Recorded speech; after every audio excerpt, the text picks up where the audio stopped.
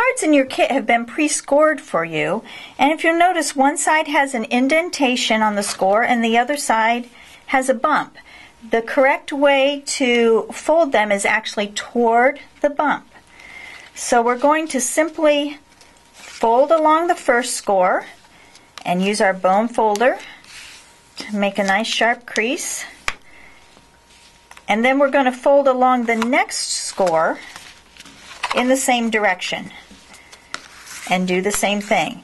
Now this is called a mountain fold because you can see it has the shape of a mountain and both of them are that way. If I'd done it the opposite direction, it would be a valley fold. But these are both mountain folds. You may want to make note of the card dimensions and the placement of the scores so you can make more easel cards in the future. You can see how this will create an easel, but it needs something on the inside of the card to hold it in place. And we will be doing that as we create this card. Now we can adhere our glittered stamped image to the easel card.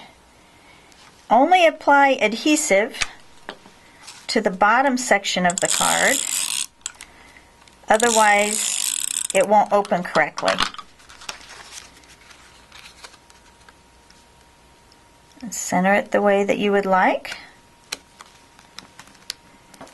And then test to make sure you didn't put adhesive where it doesn't belong on the back. Now we're ready to apply a five and a half inch piece of metallic ribbon. And you can decide where you would like to put this. If you put it closer to the center of the fold,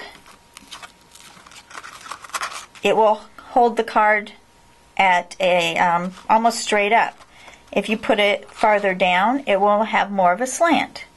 So you can just do it uh, whatever your preference is for each particular card.